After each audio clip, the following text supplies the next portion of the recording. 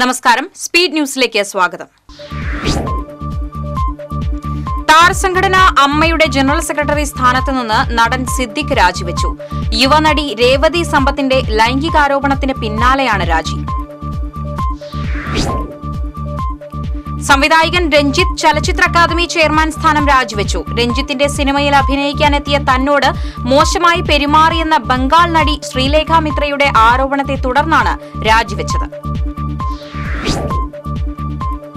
എരുമപ്പെട്ടിയിൽ school വിദ്യാർത്ഥിയെ ക്രൂരമായി മർദ്ദിച്ച വടക്കാഞ്ചേരി ബ്ലോക്ക് പഞ്ചായത്ത് അംഗമായ കോൺഗ്രസ് നേതാവ് എം എം സലീമിനെതിരെ നിയമ നടപടി ആവശ്യപ്പെട്ട് ഇടതു സംഘടനകൾ. ഡിവൈഎഫ്ഐ എസ് എഫ് ഐ പ്രവർത്തകർ നടത്തിയ പ്രതിഷേധ പ്രകടനം C P M Vadakkanchery area committee അംഗം കെ എം അഷ്റഫ് ഉദ്ഘാടനം ചെയ്തു. കഴിഞ്ഞ ദിവസം മുറ്റിച്ചൂർ പാലത്തിൽ നിന്നും ചാടി കാണാതായ യുവാവിന്റെ മൃതദേഹം കണ്ടെത്തി. ചെമ്മാപ്പള്ളി തച്ചപ്പള്ളി വീട്ടിൽ പ്രഭാകരൻ മകൻ ഇരുപത്തിയൊൻപത് വയസ്സുള്ള പ്രഭുലാലാണ് മരിച്ചത്. നിർമ്മാണം നിലച്ച മാള പൂപ്പത്തിയിലെ കേരള ഖാദി ഗ്രാമ വ്യവസായ കേന്ദ്രം കാടുകയറി നശിക്കുന്നു. കരാറുകാരന് പണം കിട്ടാതായതാണ് പ്രതിസന്ധിക്ക് കാരണം. ജില്ലയിൽ ശ്രീകൃഷ്ണ ജയന്തിക്കുള്ള ഒരുക്കങ്ങൾ പൂർത്തിയായി. നാടും നഗരവും അമ്പാടിയാക്കി മാറ്റിക്കൊണ്ട് ബാലഗോകുലത്തിന്റെ ശോഭയാത്രകൾ നാളെ ഉച്ചതിരിഞ്ഞ് മൂന്നിന് ആരംഭിക്കും. കൊടുങ്ങല്ലൂർ പുല്ലൂറ്റ് സംസ്ഥാന പാതയിൽ കുഴികൾ മണ്ണിട്ടടയ്ക്കാനുള്ള ശ്രമം നാട്ടുകാർ വീണ്ടും തടഞ്ഞു. കുഴികൾ മൂടുന്ന മണ്ണ് ഇളകി റോഡിൽ പരക്കുന്നത് അപകടങ്ങൾക്കിടയാക്കുന്ന സാഹചര്യത്തിലാണ് നാട്ടുകാർ പ്രതിഷേധവുമായി രംഗത്തെത്തിയത്.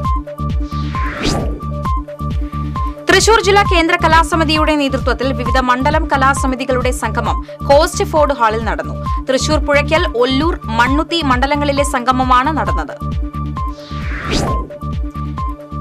തൃശൂർ ലിറ്റററി ഫോറത്തിന്റെ ആഭിമുഖ്യത്തിൽ നമ്മൾ നടന്ന വഴികൾ നമോത്ഥാനത്തിന്റെ സാമൂഹ്യ പാഠങ്ങൾ എന്ന വിഷയത്തിൽ സംവാദ പരിപാടി സംഘടിപ്പിച്ചു. ചേരൂർ സാഹിതിയിൽ നടന്ന സംവാദം സാഹിത്യകാരൻ ഡോക്ടർ എസ് കെ വസന്തൻ ഉദ്ഘാടനം ചെയ്തു. അക്കിക്കാവ് എരുമപ്പെട്ടി റോഡിൽ പി ഡബ്ല്യു ഡി വിജിലൻസ് ഉദ്യോഗസ്ഥർ പരിശോധന നടത്തി. ഹൈടെക് രീതിയിൽ നിർമ്മിച്ച റോഡിലെ തകർച്ച കണ്ടെത്തുന്നതിന്റെ ഭാഗമായാണ് പരിശോധന നടത്തിയത്. വയനാട്ടിലെ ദുരന്ത ബാധിതർക്ക് ഡിവൈഎഫ്ഐ നിർമ്മിച്ചു നൽകുന്ന ഭവനങ്ങളുടെ നിർമ്മാണ ചെലവിലേക്ക് പണം സ്വരൂപിക്കുന്നതിന് എടതിരുത്തി മേഖലാ കമ്മിറ്റിയുടെ നേതൃത്വത്തിൽ അയ്യമ്പടിയിൽ ചായക്കട നടത്തി. ജില്ലാ കമ്മിറ്റി അംഗം ബി വി സുസ്മിത ഉദ്ഘാടനം ചെയ്തു. കിണറുകളിൽ പെട്രോൾ കലർന്നുവെന്ന് ആരോപിച്ച് നാട്ടുകാർ ചേർപ്പ് ചൊവ്വൂർ പെട്രോൾ പമ്പ് ഉപരോധിച്ചു. പമ്പിന് സമീപത്തെ പന്ത്രണ്ട് വീടുകളിലെ കിണറുകളിലാണ് പെട്രോൾ കലർന്ന് വെള്ളം ഉപയോഗശൂന്യമായത്. സമരസമിതിയുടെ ആവശ്യങ്ങൾ പമ്പുടമ അംഗീകരിച്ചതോടെ സമരം അവസാനിപ്പിച്ചു. മുപ്പത്തിയെട്ടാമത് തൃശൂർ ജില്ലാ ജൂഡോ ചാമ്പ്യൻഷിപ്പിൽ എരുമപ്പെട്ടി ഗവൺമെന്റ് ഹയർ സെക്കൻഡറി സ്കൂളിലെ ഏഴാം ക്ലാസ് വിദ്യാർത്ഥിനി സാൻഡ്ര ഐറിൻ സ്വർണ മെഡൽ കരസ്ഥമാക്കി.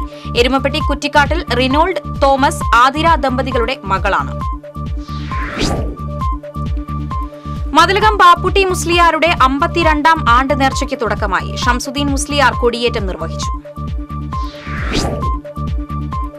കേരള യുവജന സമ്മേളനത്തിന് മുന്നോടിയായുള്ള എസ് വൈ എസിന്റെ ഉണർത്തു സമ്മേളനത്തിന് തൃശൂരിൽ തുടക്കമായി.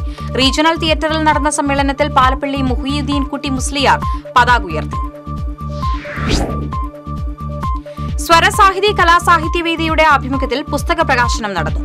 ചെമ്പുക്കാവ് ജവഹർ ബാലഭവനിൽ അജയ് ഗോപാൽ പുസ്തകം പ്രകാശനം ചെയ്തു. വ്യാപാരി വ്യവസായി ഏകോപന സമിതിയുടെ ആഭിമുഖ്യത്തിൽ തൃശൂർ നെല്ലങ്കര പറവട്ടാനി റോഡിലെ അപകടകരമായ കുഴികൾ കോൺക്രീറ്റ് ചെയ്തടച്ചു.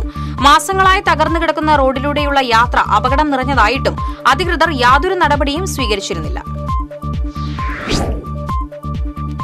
സമീരണൻ ആമലത്ത് രചിച്ച സർപ്പസുന്ദരി എന്ന കവിതാ സമാഹാരത്തിന്റെ പ്രകാശനം തൃശൂർ സാഹിത്യ അക്കാദമിയിൽ നടന്നു. റവന്യൂ മന്ത്രി കെ രാജൻ പ്രകാശനം നിർവഹിച്ചു. കെ പി പി എ സംസ്ഥാന കൺവെൻഷൻ തൃശൂരിൽ നടന്നു. ചെമ്പുക്കാവ് എഴുത്തച്ഛൻ സമാജം ഹാളിൽ നടന്ന കൺവെൻഷൻ ഉന്നത വിദ്യാഭ്യാസ വകുപ്പ് മന്ത്രി ഡോക്ടർ ആർ ബിന്ദു ഉദ്ഘാടനം ചെയ്തു. ഒല്ലൂർ സെന്റ് ആന്റണീസ് ഫെറോന ദേവാലയത്തിൽ പ്രോ ലൈഫ് മൂവ്മെന്റ് എക്സിബിഷൻ സംഘടിപ്പിച്ചു. ജീസസ് യൂത്തിന്റെ ആഭിമുഖ്യത്തിൽ സംഘടിപ്പിച്ച എക്സിബിഷൻ വികാരി ഫാദർ ആന്റണി ചിറ്റിലപ്പിള്ളി ഉദ്ഘാടനം ചെയ്തു. ഇതോടെ സ്പീഡ് ന്യൂസ് സമാപിക്കുന്നു. നമസ്കാരം.